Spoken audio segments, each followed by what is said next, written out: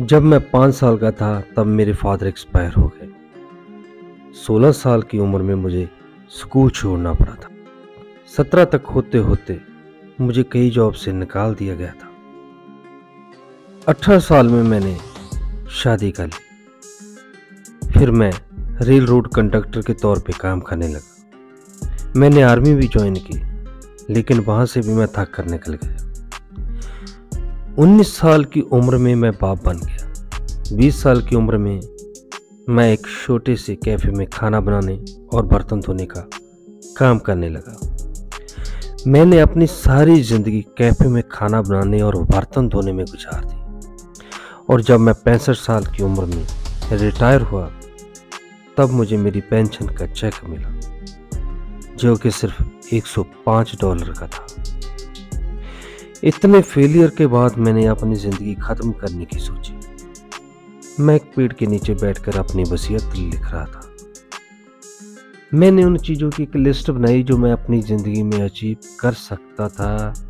उन चीज़ों की लिस्ट बनाई जो मैंने अचीव नहीं की। मैंने लिस्ट पर नज़र डाली तो उस लिस्ट में मुझे एक चीज़ मिली, जिसमें मैं बेस्ट था परफेक्ट था और वो थी कुकिंग मैंने सारी ज़िंदगी कुकिंग ही तो की थी।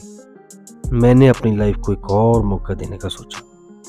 तो मैं उठा और मैंने कुछ लोगों से कुछ पैसे उधार लिए और उन पैसों से मैंने चिकन खरीदा और अपनी ही रेसिपी के अकॉर्डिंग उसे फ्राई किया। मैं वो चिकन बेचने आसपास के घरों में गया। हर कोई प्रेजेंट था। हर किसी को और चिकन चाहिए था।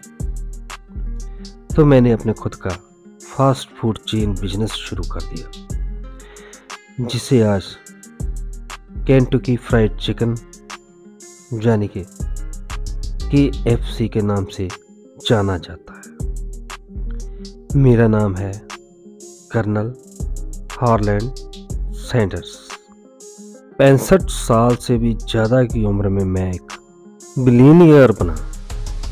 तो हमेशा याद रखिए कि आप लेट नहीं हुए हो। आपके पास अपनी किस्मत बदलने का टाइम है। कभी हार मत मान।